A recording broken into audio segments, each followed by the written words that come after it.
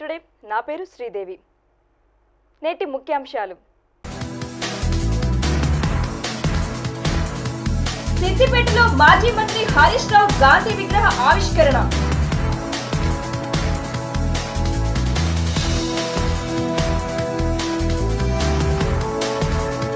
సిద్దిపేట ఆసుపత్రి వద్ద ఆందోళన. అప్పుడే జన్మించిన శిశువు మృతి.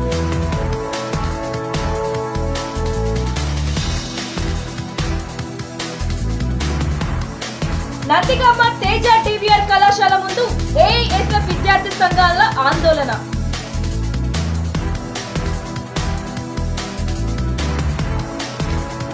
కృష్ణా జిల్లా నూజివీడు పట్టణం వీర తయారీకి ప్రసిద్ధి పొందింది.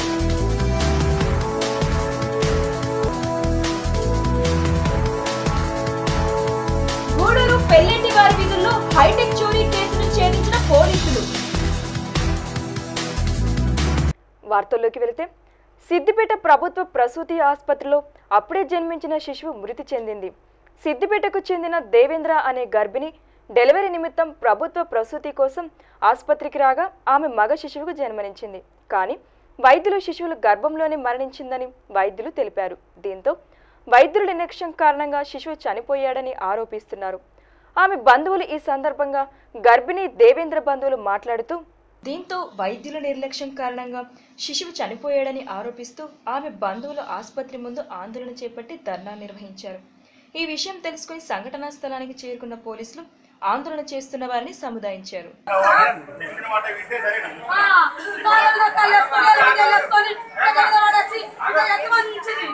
మళ్ళీ నాకు తెలుసా ఎందుకు అయితే నొప్పులు బంద్ అయినా వచ్చే నొప్పులు? ఎరుపు తెలుపు బంద్ అయింది వచ్చే నొప్పులు బంద్ అయింది. ఆయనకి అమ్మ నొప్పులు బంద్ అయినాయి కదా. ఇక ఓన్రి మళ్ళీ బాగా నొప్పులు వచ్చినప్పుడు రాండ్రి అని.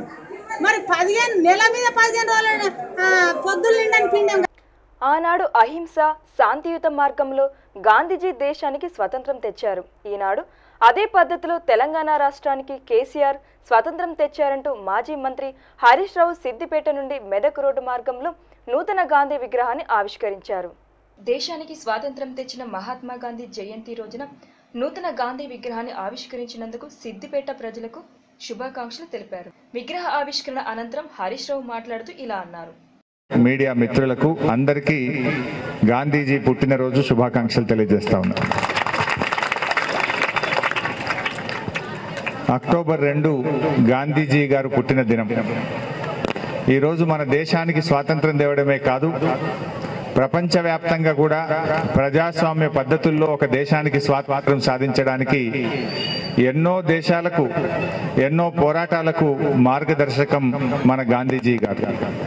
ఆ రోజు గాంధీజీ గారి యొక్క పోరాటం అహింసాయుత పద్ధతుల్లో దేశ ప్రజలందరినీ కూడా కదిలించి ఈ దేశానికి స్వాతంత్రం తెచ్చారు కనుకనే ఈరోజు భారతదేశం స్వేచ్ఛా వాయువులను పీల్చుకుంటా ఉంది. మరి మన నాయకుడు కేసీఆర్ గారు కూడా అదే గాంధీజీగా చూపినటువంటి బాటలో నడిచి పద్నాలుగేళ్ళు తెలంగాణ ఉద్యమాన్ని అహింసాయుత పద్ధతుల్లో ప్రజాస్వామ్య పద్ధతుల్లో ఈ ఉద్యమాన్ని నడిపించి ఇవాళ తెలంగాణ రాష్ట్రానికి కూడా స్వాతంత్రాన్ని మన రాష్ట్రాన్ని సాధించిన ఘనత కూడా ఈరోజు మన నాయకుడు కేసీఆర్ గారికే దక్కింది. ఇవాళ అందుకే కేసీఆర్ గారు ఒకటే అంటున్నారు. ఏమని గాంధీజీ గారు కలలు గన్న గ్రామ స్వరాజ్యాన్ని సాధించాలి. గ్రామాలన్నీ కూడా అభివృద్ధి జరగాలి. పల్లెలన్నీ కూడా పల్లెల నుంచి ప్రజలు పట్టణాలకు వస్తున్నారు. పల్లెల్లో గ్రామీణ జీవన వ్యవస్థ దెబ్బతింటున్నది. వ్యవసాయం దెబ్బతింటుంది. పల్లె ప్రజలకు కూడా పట్టణ ప్రజలతో సరి సమానమైనటువంటి వసతుల కల్పన జరగాలి. పల్లెల్లోకి తిరిగి ప్రజలు వాపసు రావాలంటే మరి కోటి ఎకరాల మాగాణిగా ఈ తెలంగాణ మారాలి. కృష్ణా గోదావరి జలాలు మరి ప్రజలకు మనం అందించగలిగితే గ్రామాలు సస్యశ్యామలమైపోయి గాంధీజీ గారు కలలు గన్న గ్రామ స్వరాజ్యం ఒక పచ్చటి పల్లెలను అభివృద్ధి చెందినటువంటి పల్లెల్ని మనం తయారు చేసుకునేటువంటి అవకాశం. కృష్ణా జిల్లా నందిగామ తేజ డివిఆర్ కళాశాల ముందు ఏఐఎస్ఎఫ్ విద్యార్థి సంఘాల ఆందోళన. కళాశాల యాజమాన్యం వేధింపులే కేశవరావు మరణానికి కారణమంటూ కేశవరావు కుటుంబానికి న్యాయం చేయాలంటూ నినాదాలు. కేసు మాఫీ చేయడానికి కాలేజీ యాజమాన్యం పలు ప్రయత్నాలు చేస్తుందంటూ విద్యార్థి సంఘాల ఆందోళన. అనంతరం నందిగామ తహసీల్దార్ గారికి వినతి పత్రం సమర్పించారు.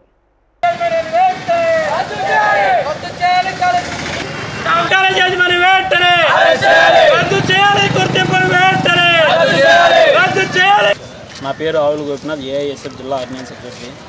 నిన్న సాయంత్రం కాలేజీ ప్రిన్సిపాల్ గారు అనే విద్యార్థిని నలుగురిలో పట్టుకొని అనుమ అతను అట్లా వెళ్తున్నాడు ఎలా వెళ్తున్నాడు నువ్వు చదవట్లేదు నువ్వు పనికిరావు నువ్వు దేనికి పనికిరావు నీకు చదువురానికి నువ్వు ఎందుకు వస్తున్నావు కాలేజీలో అనగా అతను మనస్తాపానికి చెంది పురుగుల మందు తాగి చనిపోవడం జరిగింది. ఇదే విధంగా పోయిన సంవత్సరం ఉమాకాలనీ చెందిన విద్యార్థిని ఇలాగే అనగా అతను కూడా ఇలాగే చనిపోతే కాలేజీ గుర్తింపు రద్దు చేయకపోగా కాలేజీలో బుక్స్ కానీ అది దేనికి సంబంధించిన మొత్తం దోపిడీ ఎక్కడ చూసినా దోపిడీ. ఒక జెడ్పిఎస్ స్కూల్కి హెచ్ఎంఐ ఉండి అతను ఇక్కడ స్కూల్ ఏ విధంగా రన్ చేస్తున్నారు కాలేజ్ ఏ విధంగా రన్ చేస్తున్నారు విద్యాశాఖ అధికారులు పట్టించుకోరు దీన్ని? అదేమంటే మా మీద కేసులు పెడతారు. కనిపించట్లేదా వీళ్ళు చేసింది ఏది మీకు? ఇదే విధంగా ఇలాగే కాలేజీ రన్ చేసి కాలేజీ గుర్తింపు చే గుర్తింపు రద్దు చేసేదా మేము కోరుతాము. కేశవరావు కుటుంబానికి వెంటనే న్యాయం చేయాలి. న్యాయం చేయని వల్ల ఏఎస్ఎఫ్ తరఫున ఉద్యమాన్ని ఉధృతం చేస్తామని డిమాండ్ చేస్తున్నాం. నెల్లూరు జిల్లాలో ఫేస్బుక్ వాట్సాప్ ద్వారా కొందరు యువకులు గరాన మోసాలకు పాల్పడుతున్నారు. వీరి వలలో పడిన వారిని నిలువు చేస్తున్నారు. అయితే అదే టెక్నాలజీని ఉపయోగించుకుని పోలీసులు వారి ఆట కట్టించి కటకటాల వెనక్కి నెట్టుతున్నారు. నెల్లూరు జిల్లా గూడూరులో ఈ తరహా మోసాన్ని పోలీసులు ఛేదించారు. చోరీకి సంబంధించిన వివరాలు Gudur sub division DSP VS Rambabu media సమావేశంలో వెల్లడించారు. రఘునాథ చక్రవర్తి అనే వ్యక్తి మనకి వచ్చి రిపోర్ట్ ఇచ్చాడు. ఆ రిపోర్ట్లో ఏమని చెప్పాడంటే ఒక వ్యక్తి నాకు వాట్సాప్ ఫేస్బుక్లో పరిచయం అయ్యాడు. పరిచయమైన వ్యక్తి చాటింగ్ చేసుకుంటూ అతను నేను ఇద్దరు కూడా మంచి ఫ్రెండ్స్ అయ్యాము. అతను చెప్పేలా నాకు అతన్ని ఆ సొంత ఊరు ముంబాయి ఆ తర్వాత అతను చెన్నైలో జాబ్ చేస్తూ సెటిల్ అయ్యాను అని ఇతనికి చెప్పినట్టు కంప్లైంట్ చెప్పినట్టు. దాని ద్వారా వాళ్ళిద్దరు చాటింగ్ చేసుకుంటూ ఫేస్బుక్లో కానీ వాట్సాప్లో కానీ మంచి ఫ్రెండ్స్గా ఏర్పడ్డారు మొత్తం పదార్థం కలిపాడు కలిపిన తర్వాత ఈ కంప్లైంట్ రఘునాథ చక్రవర్తి అనే వ్యక్తి నిద్రలో జారుకుని మొత్తం గాఢ నిద్రలకు వెళ్ళిపోయాడు. ఈ పరిచయం లేని వాట్సాప్లో ఈ ఫేస్బుక్లో ఈ పరిచయమైన ఈ వ్యక్తి అతను ప్లాండ్గా నిలబోయిన తర్వాత ఆ బీరువా తాళా తీసుకొని బీరువాలో ఉన్న థర్టీ ఫైవ్ సెవెన్ ఇన్స్ గోల్డ్ థర్టీ ఫైవ్ సెవెన్ ఇన్స్ గోల్డ్ మొత్తం రూపీస్ దాదాపు పది లక్షల రూపాయల వర్త్ గోల్డ్ మొత్తం తీసేసుకొని అతను ప్లాన్ ప్రకారం వెళ్ళి వెళ్ళిపోయాడు. తర్వాత ఉదయాన్నే మొత్తం నుంచి బయటపడి ఈ కంప్లైంట్ రఘునాథ్ చక్రవర్తి బయటపడి చూసుకున్నాడు. చూసుకుంటే బీరువా తాళాలు తీసుకుని పక్కనే అతను వీళ్ళంతా కూడా చెన్నై వెళ్ళారు. చెన్నై వెళ్ళి ఆడ రైల్వే స్టేషన్ సమీపంలో ఇతను ప్రయాణం చేయడానికి రైల్వే స్టేషన్కి వచ్చే సందర్భంలో అతను ఇమ్మీడియట్గా పట్టుకున్నారు. పట్టుకున్న తర్వాత అతను దగ్గర చెక్ చేస్తే మొత్తం ముప్పై ఐదు సేవల బంగారం పది లక్షల రూపాయలు విలువైన బంగారం. ఇంటాక్ట్గా ఇంటాక్ట్ మొత్తం బంగారం అంతా దొరికింది. మధుర మామిడి రసాల మధుర పట్టణం నూజివీడు. మరో అరుదైన ఘటన సొంతం చేసుకుంది. నూజివీడు రసాలతో ప్రాముఖ్యత పొందిన నూజివీడు పట్టణంలో అప్పటి జమీందార్ల పరిపాలనలో మైసూరుకు ధీటుగా దసరా ఉత్సవాలతో రెండో మైసూరుగా పేరుగాంచింది. దానికి తోడు ఎన్నో చారిత్రాత్మక కట్టడాలతో ప్రాచీన పట్టణంగా విరాజిల్లుతుంది. తాజాగా మరి ఈ సంఘటనతో నూజివీడు పట్టణ ఖ్యాతి ప్రపంచ దృష్టిని ఆకర్షించింది. దీనికి కారణం నూజివీడు వీణ. వివరాల్లోకి వెళితే కృష్ణా జిల్లా నూజివీడు పట్టణం వీణల తయారీకి ప్రసిద్ధి పొందినది. విజయనగరం తరహాలోనే నూజివీడు కూడా వీణల తయారీకి ప్రసిద్ధి పొందినది.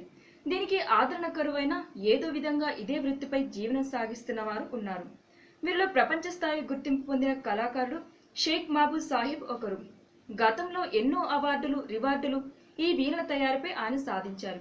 తాజాగా అన్ని స్వరాలు పలికి ఇరవై ఒకటి అంగుళాల సూక్ష్మ వీణ తయారు చేసి సెప్టెంబర్ ఇరవై తొమ్మిదిన ప్రపంచ స్థాయి పురస్కారం high range book of world రికార్డ్స్లోకి ఎక్కారు. ఉమ్మడి మాజీ ముఖ్యమంత్రి తమిళనాడు మాజీ గవర్నర్ కొనిజేటి రోషయ్య చేతుల మీదుగా దీనిని అందుకున్నారు. ఈ వీణ తయారీకి గాను మాపు రెండు వేల పదిహేడులో అసిస్టెంట్ వరల్డ్ రికార్డ్స్ దత్తపీఠ ఆస్థాన విద్వాన్ గత నెల ఇరవై ఐదున జీవీఆర్ ఫౌండేషన్ ద్వారా అక్కినేని కళా విశిష్ట పురస్కారాన్ని అందుకున్నారు. తాజాగా high range book of world రికార్డులోకి ఎక్కారు. పేరు షేక్ మహబూబ్ మాది నూజివీడు కృష్ణా జిల్లా ఆంధ్రప్రదేశ్. నేను ఈ వీణం తయారు చేయడం అయితే మా పూర్వీకులు మా తాతగారు మూడు తరాల నుంచి వస్తుంది వీణం తయారు చేయడం మా తాతయ్య గారి పేరు షేక్ కాజిం సాహెబ్. ఆయన వీణం తయారు చేయడం సన్న విద్వాంసుడు కూడాను. తర్వాత ఆ విద్య మా నాన్నగారు షేక్ మేరా సాహెబ్ నేర్చుకున్నారు. ఆయన పన్నెండు సంవత్సరాల వయసు నుంచి ఈ వీణాలు తయారు చేయడం నేర్చుకున్నారు.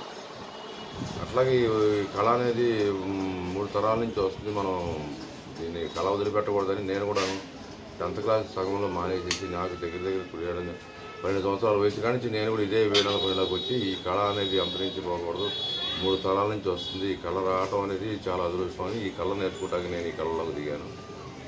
అట్లా ఈ కళలోకి వచ్చిన తర్వాతను పెద్ద పెద్ద ఆర్టిస్టులు అందరూ కూడా బాలమూట కృష్ణ గారు అయ్యగారు శ్యామ్ సుందర్ గారు వేణా శ్రీవాణి గారు నేదనూరు కృష్ణమూర్తి గారు ఎంఎస్ సుబ్బలక్ష్మి గారు మన అబ్దుల్ కలాం గారు వీళ్ళందరికీ కూడా వీణ ఇవ్వటం జరిగింది. వాళ్ళందరూ వాళ్ళందరికీ కూడా సర్టిఫికెట్లు ఇవన్నీ ఇచ్చి మంచి పనివాడుగా గుర్తింపు వచ్చింది. నాకు స్టేట్లో అవార్డు కూడా స్టేట్ అవార్డు ఇచ్చారు.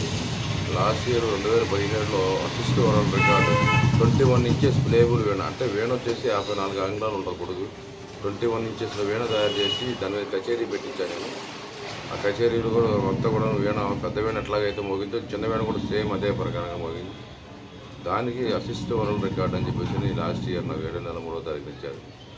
రీసెంట్గా మొన్న ట్వంటీ వన్ ఇంచెస్లోనే వేరేగా మోడల్ ఇంకో మోడల్ తయారు చేసి ఆ వేణ కూడా ఇస్తే దానికి high range book of world లో హైదరాబాద్లో ఇచ్చారు. ఆ- రికార్డు వచ్చింది నాకు. హైదరాబాద్ రోషి గారు ఇచ్చారు. అట్లాగే అఖిలేన్ నాగేశ్వరరావు గారి పేరు మీద అఖిలేన్ అవార్డు కూడా ఇచ్చారు. అట్లా ఎంత ఇలాంటి కళని ఈ కళ మీద బతకడం చాలా కష్టం. అయినా సరే ఈ కళని మూడు తరాల నుంచి వచ్చిందని కళ మీద అభిమానంతో ఒక ఒక దీని మీద ఎక్కువ ప్రేమ పెంచుకుని ఇదే కళ మీద నేను బతుకుతాను. నా పిల్లలకు కూడా నేర్పుతున్నాను నేను. గవర్నమెంట్ కూడాను కళాకారులకు అది చేస్తాము ఇది చేస్తాము. అని అంటుంటే అందరూ కూడాను ఏంటి బాబు నీకు ఎన్ని అలవాటు అవార్డు ఎన్ని సరే గవర్నమెంట్ ఏం పట్టించుకోలేదు అంటున్నారు. పట్టించుకోలేదు కూడాను. ప్లస్ అటు పట్టించుకోవటం కూడా నాకు చాలా బాధగా ఉంది. ఇలాంటి కళలను కళాకారులు మన భా భారతీయ సంస్కృతి వీణ అంటే అమ్మ సరస్వతి చేతిలో ఉండే వీణ. చదువుకునే వాళ్ళు కానీ సంగీతానికి కానీ అమ్మ సరస్వతి చేతిలో ఉండేటువంటి వీణ. అలాంటి వీణకి ఇలాంటి అవార్డులు రావటం అనేది కూడాను చాలా గొప్ప విషయం. ఈ ఈ యొక్క అవార్డుల గురించి కూడాను ఈ యొక్క కళ గురించి గవర్నమెంట్ కూడా పట్టించుకొని కొత్తగా తయారయ్యే వాళ్ళకి చేయ- చేయూతనిచ్చి పాత ఉన్న వాళ్ళకి ఏంటి మీకు సమస్యలు ఏంటి అని ఇట్లా కూడా పట్టించుకుని ఉంటే ఈ కళ అంతరించి పో- పోకుండా ఉంటుంది ఈ వీణను ఇక్కడే కాకుండా ఇతర దేశాల్లో కూడా బాగా మన భారతీయ సంస్కృతి వీణ అంటే బాగా లైక్ చేస్తారు కానీ గవర్నమెంట్ అనేది ఏం పట్టించుకోవట్లేదు నాకు हेलो अस्सलाम वालेकुम मेरा नाम मोहम्मद आसिफ पाशा ये मेरे दोस्त इन्हों शेख महबूब इन्हों के अब्बा का नाम शेख कासिम साहब उनके दादा का नाम शेख मेरा साहब मेरा साहब इन्हों के अब्बा दादा हमारे अब्बा के दादा जब से फ्रेंड से जब से उनका एज काम वीणे बनाना वीणे तैयार करना बेचना एज काम को इनको मशहूर है లేటెస్ట్ అప్డేట్స్ కోసం చూస్తూనే ఉండండి న్యూస్ నైన్ టుడే ప్రజాశ్రేయసే మా లక్ష్యం